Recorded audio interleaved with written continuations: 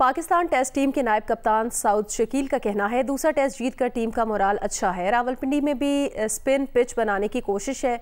Media से गुफ्तु में साउद शकील ने कहा कि मुल्तान और पिंडी में मौसम का फ़र्क है। यहाँ पिच फास्ट बॉलर्स को भी मदद फराहम करेगी।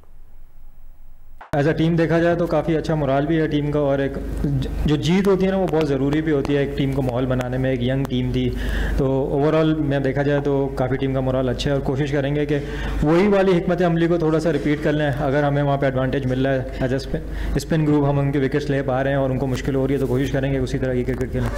मैं पर्सनली ये समझता हूँ कि हम काफ़ी लेट हो गए ये चीज़ डिसाइड करने में कि यार अगर इंग्लैंड आ रही है तो हम उनके खिलाफ इस कॉम्बिनेशन के साथ जाएँ और इस तरह के पीछे बनाएँ। पहले जो अगर आप मुल्तान और रावलपिंडी में देखें ना तो वेदर डिफरेंस आता है। मुल्तान में थोड़ी ज़्यादा गर्मी होती है, थोड़ा ज़्यादा ह्यूमिड होता है, बानस्बत पिंडी के।